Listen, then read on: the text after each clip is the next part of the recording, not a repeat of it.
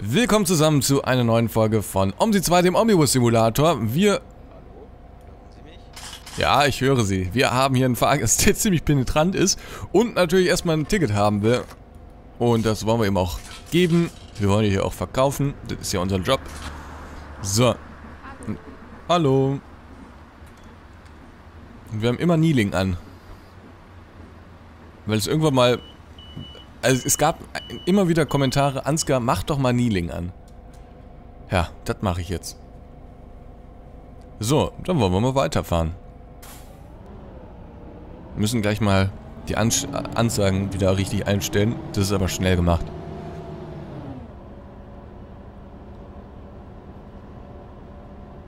Das ist aber hier eine Raus Herausforderung, hier vernünftig rumzukommen.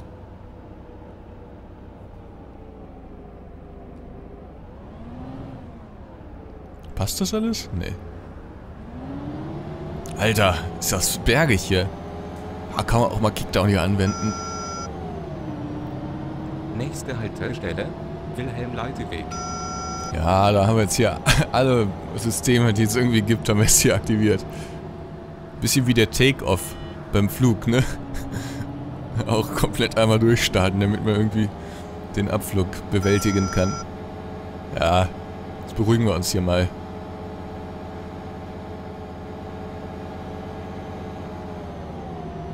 Wir wollen ja nochmal ankommen. Ist das wirklich so bergig? Kann ich mir eigentlich gar nicht vorstellen.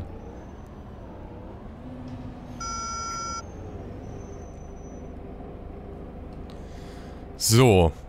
Wir müssen es echt gleich zurückstellen, weil hier ist nämlich die Endhaltestelle von der Straßenbahn. Ich weiß nicht, fährt die hier tatsächlich auch? Ist die als Modell irgendwie nicht drin? Ich habe gelesen irgendwann, dass da irgendwie umgebaut wird, dass die dann nach Langendreher fährt oder so, ne?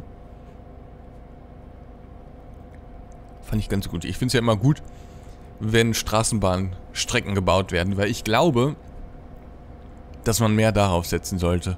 Ich glaube nicht, dass die Zukunft ist, dass jeder mit seinem eigenen Auto überall immer hinfährt, sondern eher, dass die Zukunft ist, dass man mit Bus und Bahn fährt. Aber dazu muss man halt mal investieren.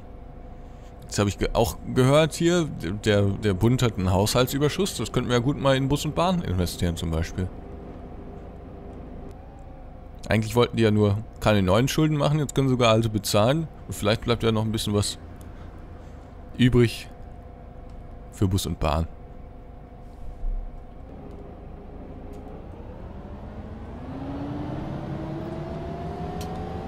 Ich weiß gar nicht, gibt es in Deutschland im Moment neue Straßenbahnstrecken? Also, welche kennt ihr da so? Was wird im Moment so gebaut? Würde mich mal interessieren. Vielleicht habt ihr auch Links zu irgendwelchen Artikeln oder so.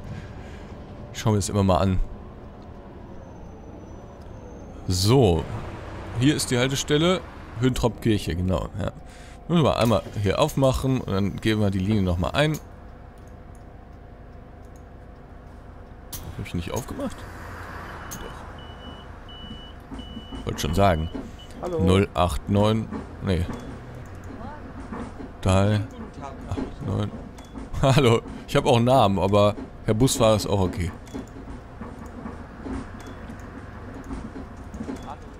Hallo.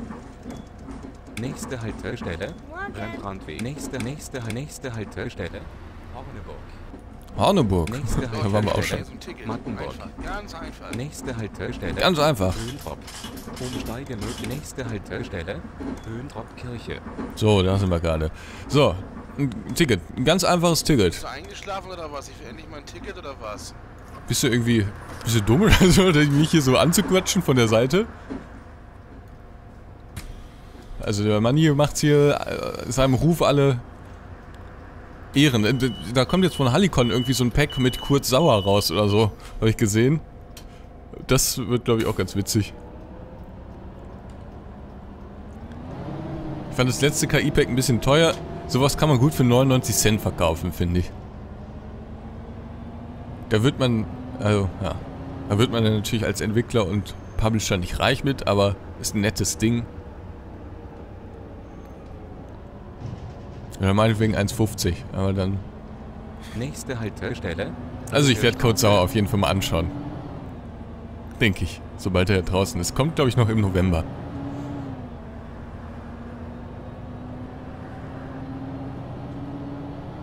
...50 sind erlaubt und gucken wir auch, dass wir die 50 erreichen hier.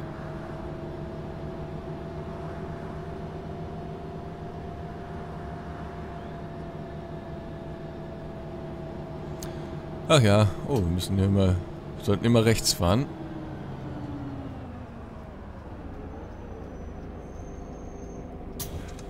Guten Tag. Buongiorno, kommen Sie rein, kommen Sie rein. Guten Morgen allerseits. Guten Morgen allerseits. Etwas übermotiviert sind sie. Ich habe letztens erlebt, das war der Hammer. Der hat den, ein Fahrgast hat einen Busfahrer gefragt, ja, fahren Sie über die und die Haltestelle? Und dann hat er so überlegt, während des Fahrens, ne? Also der Busfahrer musste sich irgendwie aufs Erfahren konzentrieren, hat so überlegt und überlegt. Nächste Haltestelle. Wilhelm Leite. Und dann hat er gesagt, nee, da fahre ich nicht drüber. Aber man merkte, ihm sagte die Haltestelle was. Ähm, nur er konnte nicht ganz zuordnen, wo, das jetzt ist und war sich sicher, auf seiner Linie ist es nicht. So. Dann hat er es dem Fahrgast gesagt. Der Fahrgast war dann irritiert und irgendwie auch sauer, dass er dem, dem die, diese Auskunft gegeben hatte. Und dann hat er mit seinem Kumpel oder so, also es war ein ganz normaler Mensch, ne, ein ganz normaler Mann, der da, der Fahrgast, und dann hat er mit seinem Kumpel oder mit seinem Freund oder keine Ahnung was telefoniert und hat dann ähm, sich am Telefon über die Auskunft des Busfahrers aufgeregt und meinte, ja, der Blödmann von Busfahrer hätte ihm hier was Falsches gesagt, also, ähm, und dabei, dann stellte sich raus, das war überhaupt nichts Falsches. Der musste einfach nur umsteigen einmal und dann in eine andere Richtung weiterfahren. Also im Prinzip war alles richtig. Und es war tatsächlich auf seiner Linie nur dieses Blödmann hat der Fahrer gehört. Und das fand ich wirklich unfair. Ich meine, der Fahrer hat nichts Falsches gemacht, aber dann da als Blödmann bezichtigt zu werden. Ich meine, der Fahrgast saß ganz hinten, aber wenn man so laut telefoniert, dass der ganze Bus mithören kann, dann hört der Fahrer das natürlich auch. Weiß nicht, ob das gewollt war oder nicht, aber ich nehme einfach mal an, dass es gewollt war. Das sind immer so Sachen, das, das verstehe ich nicht. Nur auch sein lassen eigentlich, ne? 17 mit... Oh, 1,5 Minuten, das ist noch höflich. Das gehört zum guten Ton so.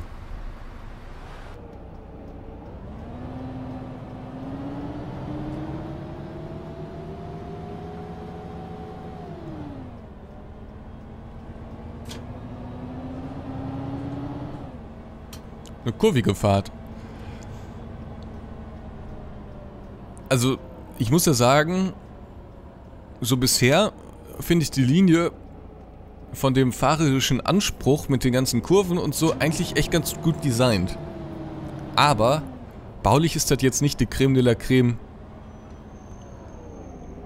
der Omsi-Szene, ne? Wir haben keinen Haltewunsch, so kommen wir weiter. Äh, ist nicht die Creme de la Creme der Omsi-Szene und vor allen Dingen wurden natürlich relativ viele Standardobjekte verbaut. Das ist das stößt ja vielen von euch immer auf, also das ist auch eine berechtigte Kritik dann irgendwo.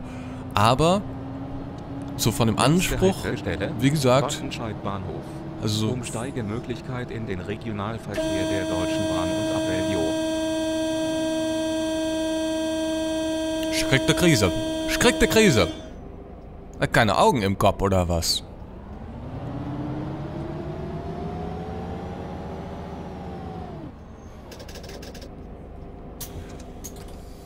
Also mal, junger Mann. Sehen Sie nicht, dass hier ein Bus kommt? Juckt den nicht. Nächstes Mal gehe ich hinterher. Unmöglich.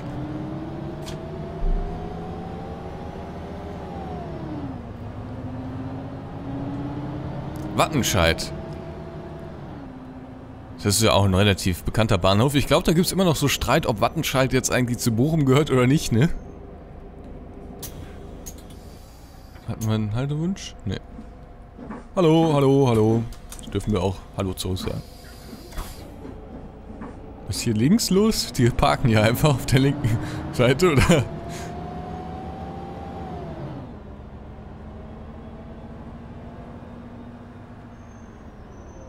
Stellt euch vor, ihr habt ein Fenster und dann sieht das so aus.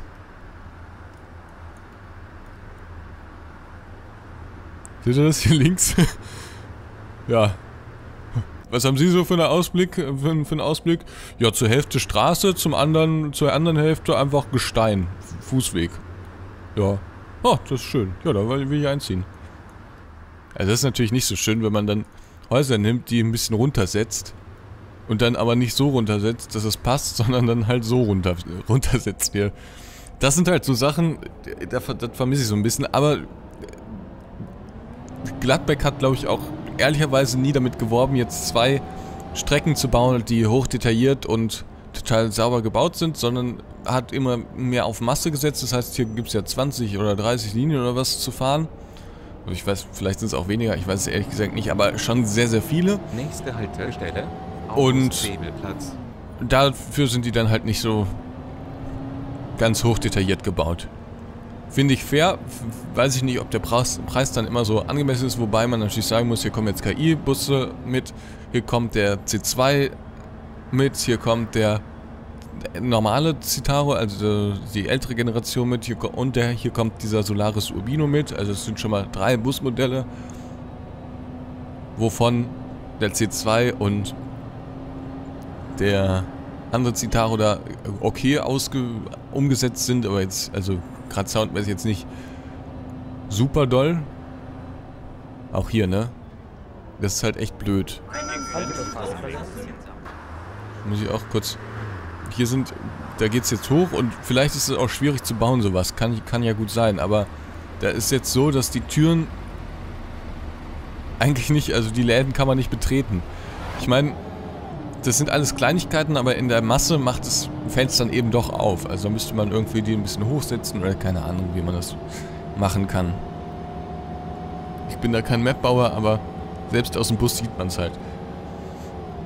Und ich will die, die Map jetzt auch nicht klar, haarklein hier auseinandernehmen. Das äh, würde der Map auch nicht gerecht werden, beziehungsweise es ist jetzt nicht mein Anspruch, sondern ich sage immer nur das, was so auffällt. Und Hier sieht man zum Beispiel auch ganz lustig. Hier ist der. Hier steht das Auto und dann guckt man hier rum und hier sieht man, hier steht das Auto auch. Das ist ganz witzig. Muss ein Zufall sein. Egal. Also, ja, das vielleicht schon mal so als Vorwarnung. Viele von euch gucken auch die Videos und sagen dann, oh, kaufe ich mir es oder kaufe ich es mir nicht. Das Add-on ist halt eher dafür für die Leute gedacht, die auf viele Linien stehen und da auch viele Kurven und enge Kurven und so fahren wollen. Die werden damit glücklich. Diejenigen, die sowas wie Hamburg Hafen City wollen, zwei Linien und dann aber wirklich mit jedem bekannten Monument an der Strecke, die äh, wären hiermit vielleicht nicht so glücklich. So.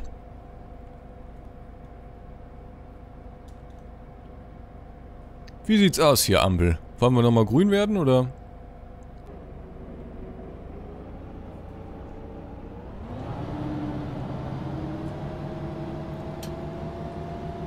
August-Bebel-Straße? Was hat denn August Bebel mal gemacht? Oder nee, August Bebel Platz hier so. Oh, wieder Straßenbahnhaltestelle.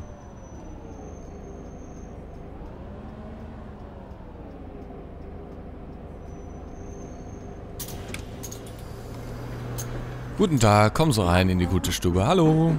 Guten Tag, morgen. Guten Morgen.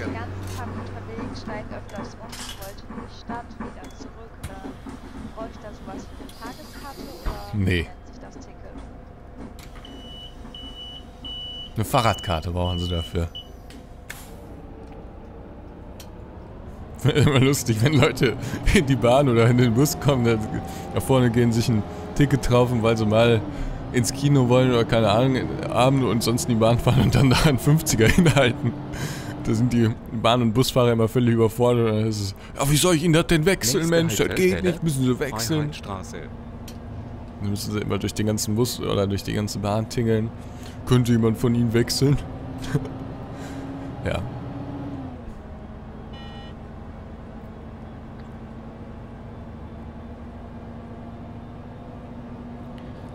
So.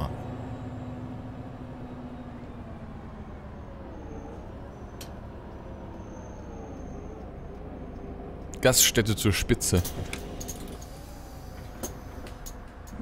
Das ist ja eine interessante Einmal Konstruktion hier. Preisstufe A, bitte.